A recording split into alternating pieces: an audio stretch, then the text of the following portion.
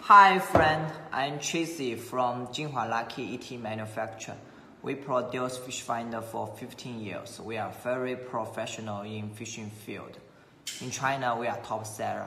And uh, this is our Pony series fish finder.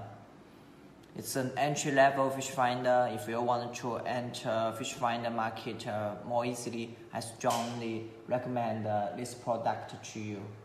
And uh, this is the package. Let me show you what's inside.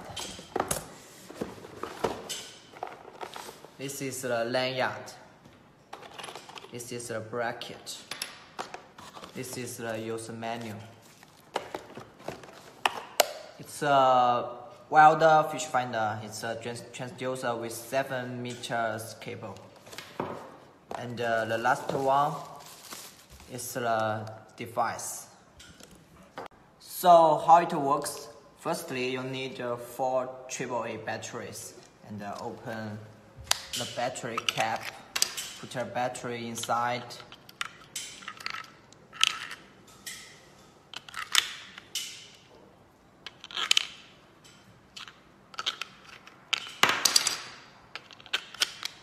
close the cap and then connect the cable. You can throw the transducer into water. Here there's a float. The transducer can float on the water. And you can also use, use this bracket. You can mount the transducer on the boat like this way. And then press this button. It works. What's the information will show on the screen. This is the water depth. And this is the bottom contour underwater. This is the lock underwater. The fish, fish, the lock. And then this is the depth, fish depth. It's a ruler divided to 10 part. And this fish depth is, uh, for example, the water depth is uh, 50 meters and uh, this this fish depth is uh, 10 meters okay. Let's see some function. This is the sensitivity. This is the power saving mode. And this is the fish alarm this is the backlight. This is the battery power. You can press this button for seconds.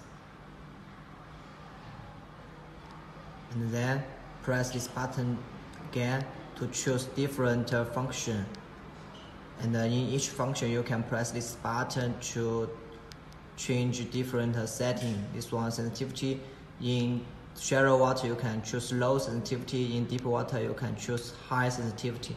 Next function is uh, battery saving power. You can press the button to choose battery saving power. You can see BAT3 letters. Another function is uh, fish alarm. You can hear, you can hear when a fish appear on the sonar, the device will alert you. Let's see next function. You can see the light is on right now. You can see light on the screen. And here, when you when you close the light, okay, you, the light disappear.